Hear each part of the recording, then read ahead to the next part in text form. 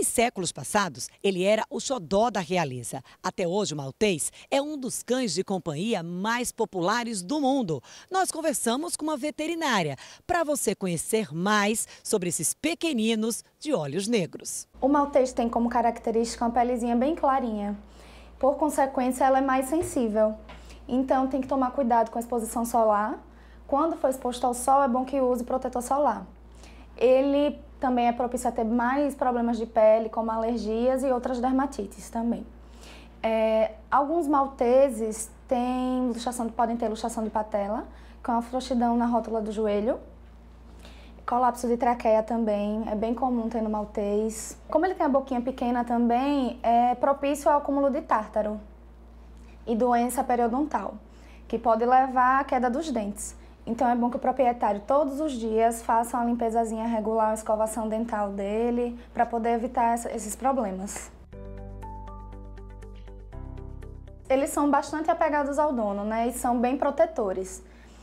É bom que de pequenininho eles aprendam a socializar, aprendam a ter contato com várias pessoas da família, porque ele fica menos agressivo.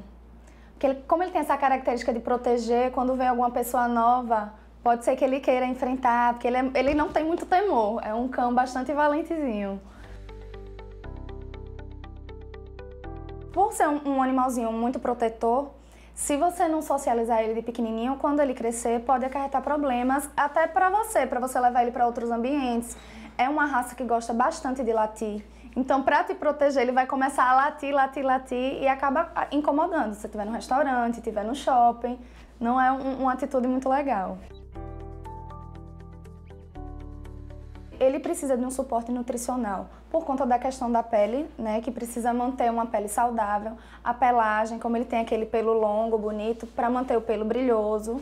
Uma ração super premium seria o ideal para manter. Por conta do problema de pele, seria legal uma suplementação com ômega 3, que cria uma proteção melhor para a pele dele. É uma raça que precisa muito que o dono esteja perto. Então eu sempre costumo dizer, se você quer ter um maltês, você veja se tem tempo suficiente para poder ficar com ele. Eles não, eles, quando eles ficam sozinhos, eles podem desenvolver algumas questões, algumas problemáticas, né, como ansiedade de separação, que aí começa a destruir coisas, podem ficar se lambendo, e aí gera uma dermatite nas patinhas, pode arranhar as portas, todo esse problemazinho comportamental.